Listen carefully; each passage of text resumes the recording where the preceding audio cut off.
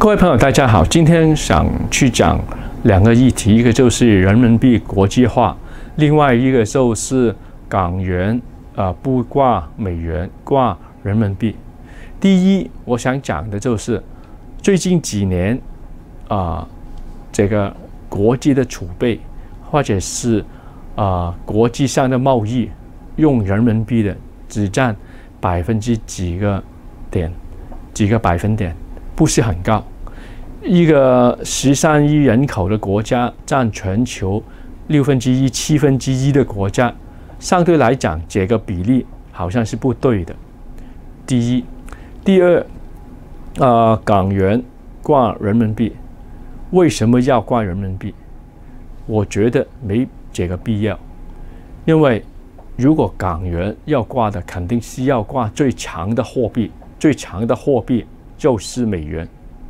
这个是第二，所以为什么港元要去选择美金？人民币啊的呃货币来讲，就是要给人家信心。中国从四九年啊新中国成立以后，只有七十几年，改革开放到现在七九年到现在也是四十多年，啊。最近才是有一个很呃增长的很快速的，变成世界的第二大的经济体，也是这十几二十年的事情。货币，如果你没有上八一百年的时间，你是很难给人家有信心。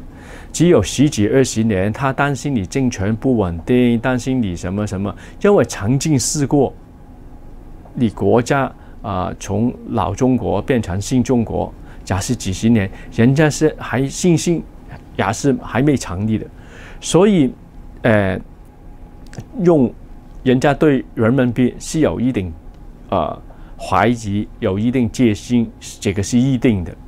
呃，以前法国跟英国为什么英国打仗会赢法国，就是在呃法国路易十四的时候。他举了很多债，就是之前也举了很多债不还钱。当债要去打仗的时候，我们要去募国债的时候，根本就募不了钱。募不了钱的时候，就打仗都很难去赢。这个就是因为军事是要依靠呃钱去支撑的，没有信任度的时候，你的钱就不值钱。还有就是会流走，走一些强势的国家。以前就是流流去，呃，英国那一边，这个就是现实。然后香港为什么啊要不能去挂人民币？如果要挂人民币的时候，那么港元的呃这一个价值就不存在，我直接用人民币就可以。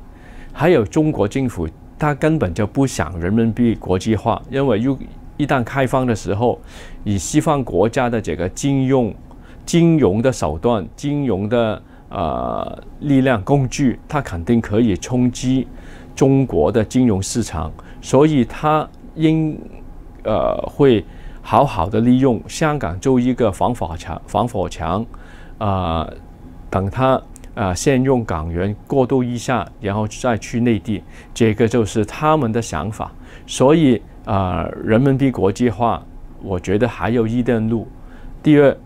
呃，港元肯定是持续的跟美元挂钩的。今天我就讲到这里了，有什么可以留言的？再见，拜拜。